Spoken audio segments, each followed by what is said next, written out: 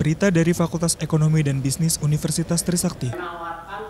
Fakultas Ekonomi dan Bisnis Universitas Trisakti mengadakan sidang terbuka promosi Doktor Ilmu Ekonomi dengan promovendus Eki Amrullah dengan disertasi yang berjudul Dampak Kebijakan Layanan Inklusi Keuangan Digital terhadap Keberlanjutan Bank Pengkreditan Rakyat atau BPR yang diadakan pada Rabu 26 Februari 2020 bertempat di Auditorium Gedung S lantai 8, Kampus A Universitas Trisakti.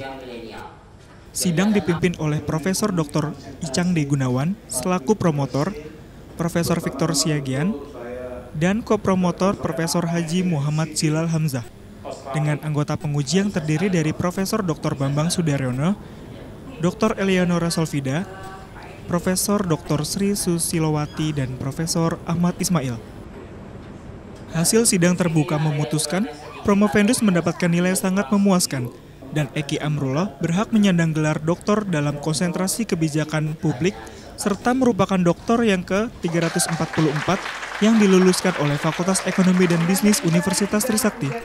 Eki Amrullah saat ini menjabat sebagai Chief Operating Officer PT BPR Nusantara Bina Arta. Semoga ilmu dan hasil penelitiannya yang telah dipertahankan di depan para penguji dapat diimplementasikan untuk kepentingan nusa, bangsa, dan negara kesatuan Republik Indonesia, serta meningkatkan kepercayaan publik terhadap Universitas Trisakti.